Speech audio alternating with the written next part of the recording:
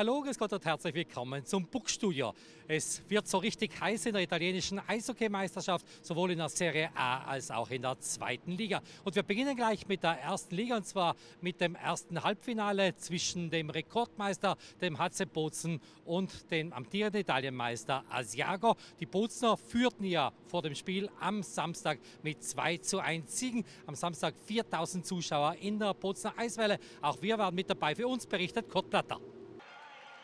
Der HC Bozen ist nur noch einen Sieg vom Finale entfernt.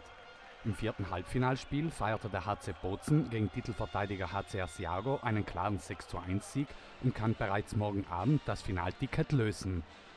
Bozens Trainer Adolf Insam musste ohne Christian Borgatello und Nick Mazzolini auskommen, während bei den Gästen die Stürmer Dave Borelli, Matteo Tessari und Mirko Presti fehlten. Nach einem ersten Abtasten gingen die Weiß-Roten bei der ersten Überzahlsituation in Führung. Der finnische Verteidiger Samuli Suhonen zog von halblinks ab und Marco Insam gab dem Buck aus kurzer Distanz die entscheidende Richtungsänderung. Nach 5 Minuten und 22 Sekunden führten die Hausherren bereits mit 1 zu 0 und John Vigilante konnte von der Strafbank wieder aufs Eis zurückkehren. Für den Trainersohn war es der zweite Treffer in diesen Playoffs. Nach 10 Minuten kreuzte Asiago erstmals gefährlich vor Metzaba auf, doch dieser blieb gegen Lane Ulmer und Michael Henrich Sieger.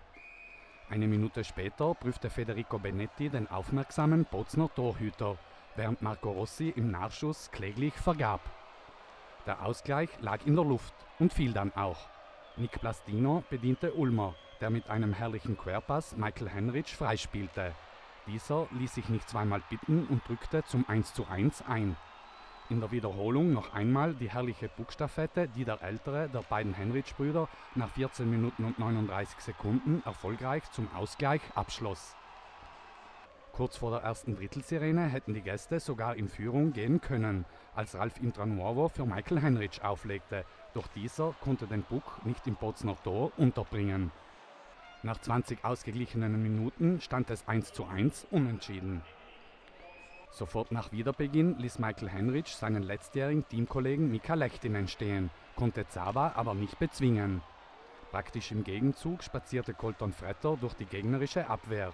Seinen Schuss konnte Daniel Bellissimo nicht festhalten und Plastino kratzte die Hartgummischeibe von der Linie.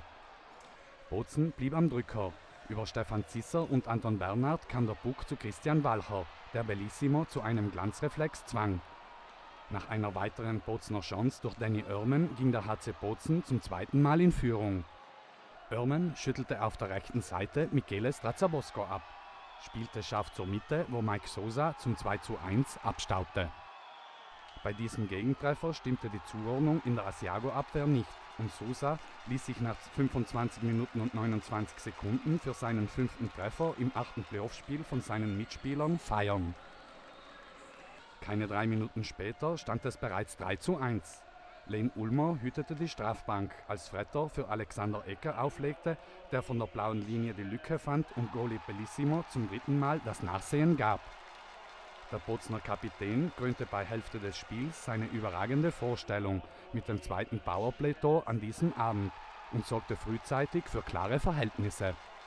Wenig später brannte es vor dem Asiago-Tor erneut lichterloh, als Marco Insam frei zum Schuss kam, dieser aber zu hoch ausfiel. Auf der anderen Seite machte Michael Henrich alles alleine und wurde abgeblockt, doch der freistehende Ralf Intranuovo konnte kein Kapital daraus schlagen. Die letzte Chance vor dem zweiten Seitenwechsel fand Mike Sosa vor, doch Bellissimo machte den Diagonalschuss mit der Fanghand zunichte. So stand es nach 40 Minuten 3 zu 1 für den entfesselt ausspielenden HC Bozen. Das dritte Drittel begann mit einem zaghaften Angriff der Gäste, doch Nicola Tessari und Michele Stevan konnten den Puck nicht im Bozner Tor unterbringen. Die Bozner Angreifer machten es danach besser. Nach einem schnellen Angriff über Red Gordon und Marco Insam kam Giulio Scandella frei zum Schuss und drückte trocken zum 4 zu 1 ein. Daniel Bellissimo hatte gegen den Schuss, der unter der Querlatte einschlug, keine Abwehrmöglichkeit. Die Gegenwehr von Asiago war nun endgültig gebrochen. Nach einem Vorstoß von Sousa fand Colton Fretter in Bellissimo seinen Meister. Dieser musste sich aber wenig später zum fünften Mal geschlagen geben. Stefan Zisser schickte Anton Bernhard auf die Reise. Dieser zündete den Turbo, bremste vor dem Tor ab, traf zuerst den Pfosten und schob dann zum 5 zu 1 ein. Das Tor erinnerte an Spiel 1, als Michael Henrich beim 4 zu 1 Sieg einen ähnlichen Treffer erzielt hatte. Und weil es so schön war, hier noch einmal. Als Danny Irman auf der Strafbank saß, bediente Adam Henrich vor dem Tor Len Ulmer, der Zaba aber nicht bezwingen konnte. Auf der anderen Seite zeigten die Weiß-Roten dann, wie es geht. Alexander Ecker spielte zu Anton Bernhard, der zu Stefan Zisser weiterleitete und dieser erhöhte auf 6 zu 1, wobei Torhüter Daniel Bellissimo nicht schuldlos war. In der 55. Minute war das Tennisergebnis von 6 zu 1 im Trockenen. Drei Minuten vor Schluss hätte Ralf Intranuovo noch Ergebniskosmetik betreiben können, doch es blieb beim überaus verdienten Bozner 6 zu 1 Sieg. Der Rekordmeister führt damit in der Best-of-Seven-Serie mit 3 zu 1 und hat jetzt drei Matchbooks zur Verfügung. Ich glaube, das war eine Generalprobe für uns. Äh, wir haben heute müssen gewinnen, um den Sieg von äh, Donnerstag zu bestätigen. Und ich glaube, wir haben auch ganz gut gespielt, besonders im dritten Drittel. Im zweiten Drittel ist es ein bisschen Lauf und Tor gegangen, sind wir ein bisschen in Krise gegangen. Aber ich glaube, wir haben uns ganz gut verkauft und es hat den Zuschauern sicher auch gefallen, seit zahlreich gekommen sein. Ich muss ehrlich sagen, unser System zurzeit funktioniert es wirklich.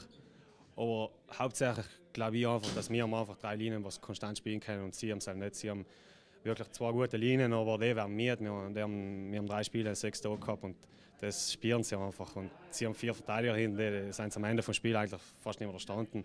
Genauso die Stürmer, die werden mit. Und ich glaube einfach, dass wir einfach einen größeren Kader haben, was, drei Linien was konstant spielen können.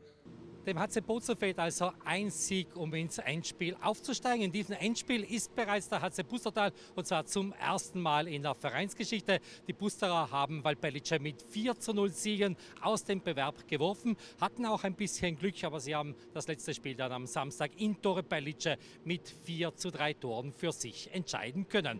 Die Wölfe nutzten den ersten Matchball und schonen damit ihre Kräfte für das Finale, das in einer Woche beginnen wird. Dabei begann die Partie alles andere als optimal, denn in Führung ging Gastgeber Valpellice. Pettianone erwischte Stromberg nach 13 Minuten 5 Sekunden eiskalt zwischen den Beinschonern. Nach dem Seitenwechsel glich Neti Casimiro in Überzahl aus. Als Martinelli auf der Strafbank saß, brachte Pustertals Nummer 29 den Puck zum Jubel der mitgereisten Fans im Tor unter. Tagar Desmet war es, der für die Gäste dann sogar auf 2 zu 1 erhöhte. Mit einem Schuss ins kurze Eck ließ er Kevin Reagan keine Chance und tundelte den Gästetorhüter. Doch noch vor dem neuerlichen Seitenwechsel sorgte Aquino für gleiche Verhältnisse. In Überzahl stocherte er den Puck nach 37 Minuten und 16 Sekunden ins Netz. Im Schlussdrittel waren keine vier Minuten gespielt, als Ryan Martinelli die Piemontesen im Hexenkessel vor 2440 Zuschauern in Führung brachte. Einen Schuss von Pozzi konnte Stromberg noch abwehren, den Abpraller bekamen die Busterer Verteidiger nicht aus der Gefahrenzone und Martinelli schoss zum 3 zu 2 ein. Nur 20 Sekunden später war Armin Helfer zur Stelle und glich nach Zuspiel von Patrick Borna zum 3 zu 3 aus. Beide Teams spielten nun mit offenem Visier, doch der HCP hatte das Glück des Tüchtigen auf seiner Seite und erzielte knapp drei Minuten vor Schluss den viel umjubelten Siegtreffer. Armin Hofer bezwang Reagan mit einem satten Schuss über der Schulter. Danach kannte der Jubel beim HC Pustertal keine Grenzen. In der zweiten Liga, da stehen hingegen schon beide Finalisten fest. Wir waren bei einem Spiel und zwar in Grön und zwar beim Spiel der Gastgeber gegen Mailand. Der HC Grön nutzte zu Hause die erste Chance ins Endspiel der Serie 2 einzuziehen. Über 1400 Zuschauer wollten sich im Wolkenstein dieses Spiel nicht entgehen lassen. Die Mannschaft von Ron Ivany ist ja vor eigenem Publikum seit fast fünf Monaten ungeschlagen. Die letzte Heimniederlage musste sie am 29. Oktober gegen Neumarkt einstecken. Damals verloren die Ladiner 3 zu 5. Gröden im weißen Trikot trat ohne den Schweden Patrick Wallenberg an, dafür spielte sein Landsmann Magnus Eriksson in Tor. Der Mailänder Trainer Massimo Darin musste hingegen auf Gianluca Tomasella verzichten, sowie auf den Slowaken Ondrej, der sich in Spiel 4 verletzt hat. In der dritten Minute ging Gröden in Führung. Greg Watson setzte sich beim Bulli durch, die Scheibe kam zu Jamie Schaffner, der mit einem Rückhandschlag das 1 zu 0 für die Hausherren besorgte. Für den 27-jährigen holländischen Nationalspieler war es das neunte Playoff-Tor, das 27. in dieser Meisterschaft.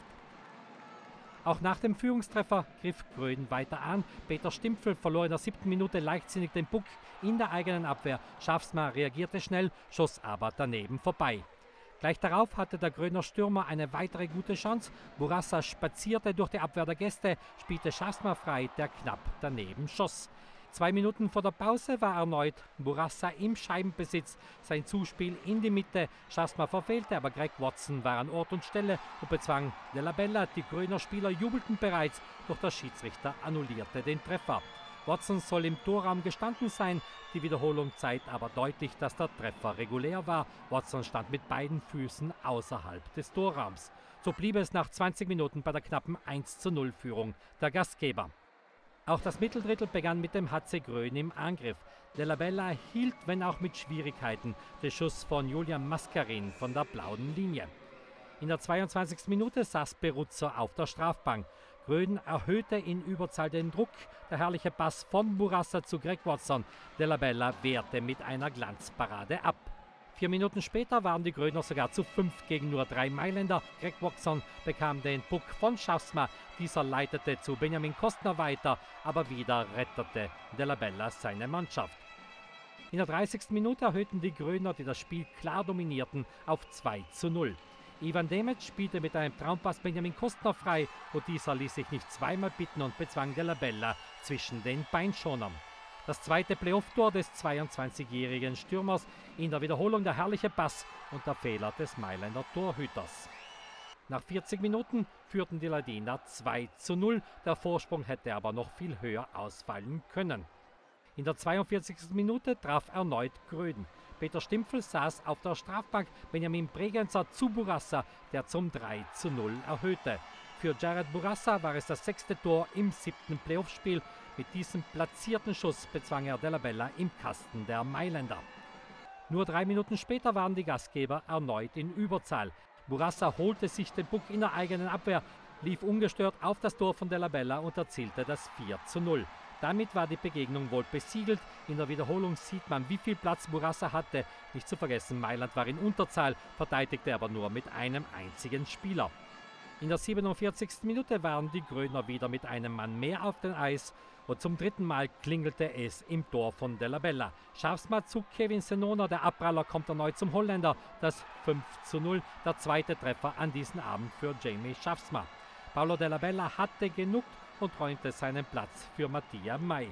Das Spiel war gelaufen, Mailand steckte auf in der Schlussminute, hatten die Gäste zwar noch eine Gelegenheit mit Milan Kosturek, der aber zweimal an Eriksson scheiterte. Es blieb beim 5 zu 0. Grön steht wie im Vorjahr im Finale der Serie A 2. Vor zwölf Monaten scheiterten die Gröner an Eppern. Diesmal spielen sie gegen Sterzing. Mailand kann hingegen bereits den Sommerurlaub planen. Gegen Sterzing wäre es sicher nicht schwierig, nicht äh, leicht werden, weil, weil äh, gegen sie haben wir, allem, haben wir uns allem äh, eher schwer getan und es, war immer, es ist immer ein Kampf gewesen. Aber wir sind voll motiviert und hoffen, dass es ruhig klappen wird. Die Sterzinger setzten sich ebenfalls mit 4 zu 1 Siegen gegen Kaltern durch das Finale in der zweiten Liga. Das beginnt dann am kommenden Freitag. Das erste Spiel wird Grön zu Hause bestreiten. Am Sonntag dann Spiel 2 des äh, Finals in Sterzing. Wir werden natürlich ausführlich berichten. Es geht ja aber bereits im Eishockey morgen Dienstag weiter und zwar mit der Begegnung Asiago gegen Bozen. Wir bedanken uns fürs Zusehen und wünschen noch einen schönen Abend.